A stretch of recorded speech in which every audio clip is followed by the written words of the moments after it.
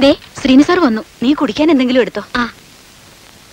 എടോ ശ്രീനി കുറച്ചു കാലമായിട്ട് ഇതൊരു തലവേദനയായിരിക്കുക. ഇതൊന്ന് വിറ്റ് തൊലച്ചാൽ ഒരു പത്ത് പന്ത്രണ്ട് ലക്ഷം രൂപ കിട്ടും ജോണിക്ക്. നിങ്ങളെ പാർട്ടി ഫണ്ടിലേക്ക് എന്തെങ്കിലും തരാം. ആ അതിരിക്കട്ടെ. വാളൂക്കാരന്മാരുടെ ഒരു തരി മണ്ണ് പോലും സർക്കാർ മിച്ചഭൂമിയായിട്ട് കണ്ടുകെട്ടാതിരുന്നാ പോരെ. നിങ്ങൾ ആധാരം നടത്താൻ നോക്കണം. ബാക്കി കാര്യങ്ങളെല്ലാം വേണ്ട പോലെ ഞാൻ ഡീൽ ചെയ്തോളാം. എന്നാടേ എന്നാടി മോളെ ആധാരം എഴുതുന്നത്? നോയമ്പ് വീടിൽ കഴിഞ്ഞൊരു ദിവസം. ഇനി ഇരിക്കണ്ട. സ്റ്റേ വെക്കേറ്റ് ചെയ്താൽ പിറ്റേന്ന് നടത്തിക്കോ. ആധാരം എഴുതുന്നത് അത് ശരിയാ. നാളെ വൈകുന്നേരം ജോണിയോട് എന്നെ ഒന്ന് വിളിക്കാൻ പറയണം. സർവേ നമ്പർ കുറിച്ചു കൊണ്ടുവന്നിട്ടുണ്ട് തരാം. അല്ല ഞാൻ ചോദിക്കാൻ വിട്ടുപോയി. എന്തായി തന്റെ മകന്റെ കാര്യം? ആ എല്ലാവർക്കും എല്ലാം തികച്ചു കൊടുക്കില്ലല്ലോ. അതൊന്നും പറഞ്ഞിട്ട് കാര്യമില്ല. യോഗ്യതയില്ലാത്തൊരു പെണ്ണ് മരുമകളായ വീട്ടിൽ ജീവിക്കുന്നത് കാണാനുള്ള ബുദ്ധിമുട്ട്. അത്രയല്ലേ ഉള്ളൂ? അതെ. അവൾ കാശില്ലാത്ത വീട്ടിലെ പെണ്ണായതുകൊണ്ടോ എന്റെ ജുവലറിയിലെ സെയിൽസ് ഗേൾ ആയിരുന്നത് കൊണ്ടോ അല്ല ഒരു മരുമകളെ കുറിച്ചുള്ള കഥകൾ അങ്ങാടിയിൽ പാട്ടായി കേൾക്കാൻ ഏത് ഫാദറിലായാണ് ഇഷ്ടപ്പെടുക? താൻ ടെൻഷൻ ആവണ്ട. നമുക്ക് ആലോചിക്കാം. ഇനിയിപ്പോ അവളെ ഡൈവോഴ്സ് ചെയ്യാൻ അവൻ സമ്മതിച്ചാൽ പോലും പ്രശ്നങ്ങൾ തീരുന്നില്ല. കാരണം പെണ്ണ് ഗർഭിണിയാണെങ്കിൽ ജനിക്കാനിരിക്കുന്ന കുട്ടിക്ക് കൂടി ചെലവിന് കൊടുക്കാൻ കോടതി വിധിച്ചു എന്ന് വരാം. ഡൈവോഴ്സിനെ കുറിച്ച് ആലോചിക്കുകയേ വേണ്ട. അവൻ ഇപ്പോഴും അവളോട് ഒരു തരം ചീപ്പ് റൊമാൻസ് ആണ്. അവൾക്ക് ആത്മഹത്യ ചെയ്യാമല്ലോ ശ്രീനിവാസ. ആത്മഹത്യ? ഞാൻ പറഞ്ഞു വരുന്നത് തനിക്ക് മനസ്സിലായില്ല. ആത്മഹത്യ ചെയ്യാൻ കാരണം വേണോ? കേട്ടിട്ടില്ലേടോ ദുർബല നിമിഷങ്ങളെന്ന്? സ്മിത ഒരു ദുർബല നിമിഷത്തിൽ ആത്മഹത്യ ചെയ്യുന്നു. അല്ലെങ്കിൽ ഒരു അപകട മരണം സ്റ്റൗ പൊട്ടിത്തെറിച്ച് നമ്മുടെ നാട്ടിൽ പെൺകുട്ടികൾ മരിക്കാറില്ലേ? വിഷം കഴിച്ച് മരിക്കാറില്ലേ? കെട്ടിത്തൂങ്ങി മരിക്കാറില്ലേ? സർക്കാരിന്റെ കാനേഷുമാരിയ പുസ്തകത്തിൽ ഇവയെല്ലാം ആത്മഹത്യകളാണ് ഇത്തരം സുന്ദരവും ലളിതവുമായ ഒരു അപകട മരണം നമ്മുടെ വീട്ടിലും സംഭവിക്കുന്നു.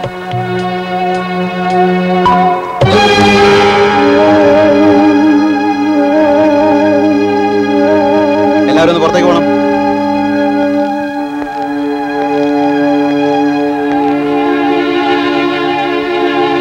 music.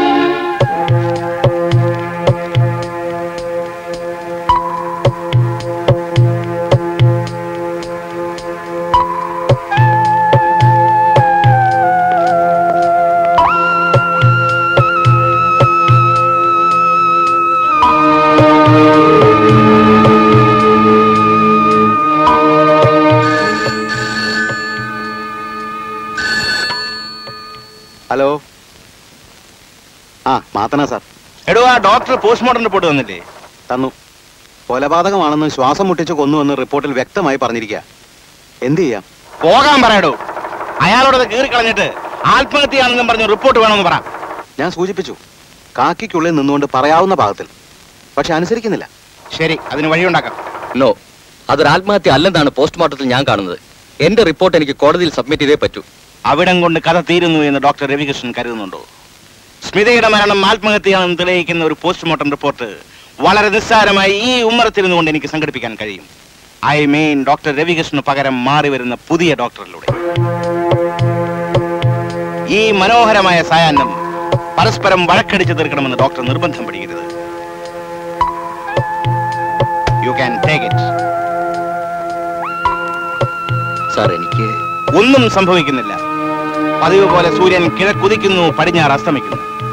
നാം സുന്ദര സ്വപ്നങ്ങൾ കണ്ട് മയങ്ങി ഉറങ്ങും. ഇത് ഇന്നലത്തെ പത്രം. ഇതിൽ സ്മിതയുടെ മരണം കൊലപാതകമാണെന്ന് വ്യക്തമാക്കിയിരിക്കുന്നു. ഇത് ഇന്നത്തെ പത്രം. ഇതിൽ സ്മിതയുടെ മരണം പുതിയ വഴിത്തിരിവിൽ. താമരക്കുടി ബംഗ്ലാവിൽ സ്മിതയുടെ മരണം കൊലപാതകമല്ല മറിച്ച് ആത്മഹത്യയാണെന്ന് ഡോക്ടർ രവി കൃഷ്ണന്റെ പോസ്റ്റ്മോർട്ടം റിപ്പോർട്ടിൽ പറയുന്നു.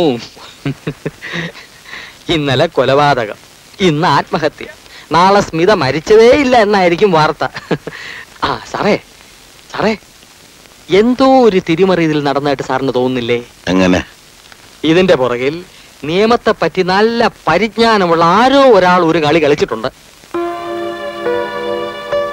ആ മരിച്ച പെൺകുട്ടിയുടെ വീടറിയാവും? ഹനുമാനെ പോലെ ഈ ശിവരാമപിള്ള അങ്ങയുടെ പുറകിലുള്ളപ്പോ അതിനാണോ പ്രയാസം?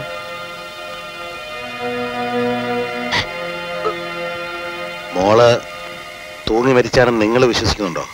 ഇല്ല സർ. എന്റെ മോൾക്ക് അങ്ങനെയൊന്നും ചെയ്യാനാവില്ല. അവളും ഭർത്താവും തമ്മിൽ അത്രയ്ക്ക് ഇഷ്ടത്തിലായിരുന്നു.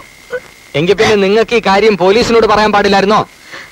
ഞങ്ങൾ പാവങ്ങളാ സർ. നിങ്ങളുടെ മകളെ കൊന്നതാണ്. കൊലയാളികൾ ശിക്ഷിക്കപ്പെടണ്ടേ? അതിന് കേസ് കൊടുക്കണം. കോടതി പോണം. കേസിനും കോടതിയിലൊന്നും പോവാൻ ഞങ്ങൾക്ക് പണമില്ല സർ. എന്റെ മോളെ കൊന്നവരോട് ദൈവം ചോദിച്ചോളൂ. പണച്ചിലവിന്റെ കാര്യമൊന്നും നിങ്ങൾ അറിയണ്ട. നിങ്ങളുടെ ഒപ്പം ഞാനുണ്ട്. മകളും ഭർത്താവിന്റെ വീട്ടുകാരും തമ്മിൽ എന്തെങ്കിലും പ്രശ്നങ്ങൾ? ഉണ്ടെന്ന് ചിലര് പറയുന്നു കേട്ടു. അതാരോട് ചോദിച്ചാൽ അറിയാൻ പറ്റും? അവിടെ ഒരു വേലക്കാരിയുണ്ട് മീനാക്ഷി. അവളുമായിട്ട് മോൾ വലിയ അടുപ്പത്തിലായിരുന്നു. എപ്പോഴും മീനാക്ഷിയുടെ കാര്യം പറയുമായിരുന്നു? ഇല്ല എനിക്കൊന്നും അറിയില്ല. സാറന്മാര് പോ അതാ നല്ലത്. നിങ്ങൾ രണ്ടുപേരും ജയിലിൽ പോയേ അടങ്ങുള്ളോ? ഇവളെ കൊണ്ട് മണി മണി സത്യം പറയിക്കാൻ സാറിന് അറിയാം എന്താ അത് വേണോ? സാറേ ഞാൻ പറയാം. പക്ഷെ പറഞ്ഞാൽ അവരറിയും. എന്നെ അതോർത്ത് ഭയപ്പെടണ്ട. നിങ്ങൾക്കൊന്നും സംഭവിക്കില്ല. അന്ന് മുരളിക്കുഞ്ഞ് വീട്ടിലില്ലായിരുന്നു. പതിവില്ലാതെ സ്മിതക്കുഞ്ഞ് എന്നെ കൂട്ടുകിടക്കാൻ വിളിച്ചു. വിഷുനാളിൽ സ്മിത കുഞ്ഞ് വാങ്ങി തന്ന സാരി വീട്ടിലെല്ലാവർക്കും എന്ത് ഇഷ്ടായിരുന്നോ? അയ്യോ അത് ഞാൻ സെലക്ട് ചെയ്തതല്ല. മുരളിച്ചേട്ട് സെലക്ട് ചെയ്തതാ. ഞങ്ങൾ തമ്മിൽ ഇഷ്ടായ പിന്നെ ഒറ്റ സാരി എന്നെ കൊണ്ട് എടുപ്പിക്കില്ല സാരി തിരഞ്ഞെടുക്കാൻ മൂപ്പര് പെണ്ണുങ്ങളെക്കാൾ വിരുദനാ സാരി തിരഞ്ഞെടുക്കാൻ മാത്രമല്ലല്ലോ. എന്നാ ഞാൻ പോയി കിടക്കട്ടെ. വേണ്ടെന്നേ ഇന്ന് മീനാക്ഷി ഇവിടെ കിടക്ക്. നമുക്ക് വെറുതെ വർത്താനം പറഞ്ഞിരിക്കാം. ഞാൻ ബാത്റൂം പോയിട്ട് വരാം.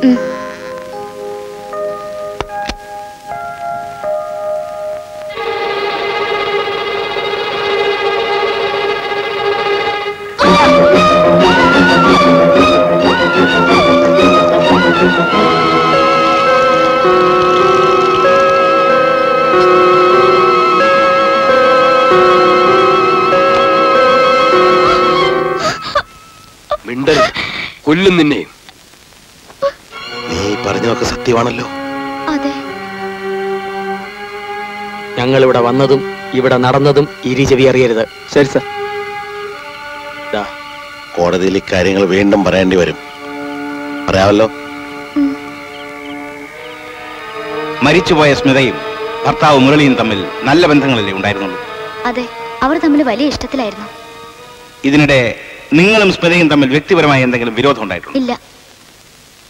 ഇനി ഈ കേസിൽ കൂടുതൽ തെളിവെടുപ്പിന്റെ ആവശ്യമുണ്ടെന്ന് തോന്നുന്നില്ല. That's all your honour objection your honour I have questions yes ചോദിക്കേണ്ടത് ചോദിക്കാതെ പ്രോസിക്യൂട്ടർ മനഃപൂർവം തെളിവെടുപ്പിൽ നിന്ന് ഒഴിഞ്ഞു മാറുകയാണ്. ഇത് കേസിനെ രക്ഷിക്കാനല്ല മറിച്ച് പ്രതിയെ രക്ഷിക്കാനാണ്. യുവർ ഓണർ ഈ കേസിൽ പ്രോസിക്യൂഷൻ ഐഡിന്റെ വാദിഭാഗത്ത് നിന്ന് ഞാൻ വക്കാലത്ത് ഹാജരാക്കിയിട്ടുണ്ട്. അതുകൊണ്ട് സാക്ഷിയെ വിസ്തരിക്കാൻ ദയവായി ബഹുമാനപ്പെട്ട കോടതി എന്നെ അനുവദിക്കണം. ക്വസ്റ്റ്യൻസ് അലോ നിങ്ങളും സ്മിതയും തമ്മിൽ മുറിക്കുള്ളിൽ സംസാരിച്ചുകൊണ്ടിരുന്നപ്പോ പ്രതി അങ്ങോട്ട് കടന്നു വന്നോ? ചോദിച്ചത് കേട്ടില്ലേ? എനിക്കറിയില്ല. ഞാൻ ഇടയ്ക്ക് ബാത്റൂമിൽ പോയി. നിങ്ങൾ ബാത്റൂമിൽ നിന്ന് തിരിച്ചു വരുമ്പോൾ പ്രതി അകത്തുണ്ടായിരുന്നോ? കണ്ടില്ല. കളവ് പറയരുത്. നിങ്ങൾ തിരിച്ചു വരുമ്പോൾ അകത്ത് കിടന്നിരുന്ന പ്രതി സ്മിതയെ കഴുത്തിന് എരിച്ചു കൊല്ലുന്നത് നിങ്ങൾ കണ്ടില്ലേ? ഇല്ല ഞാനൊന്നും ഒന്നും കണ്ടില്ല.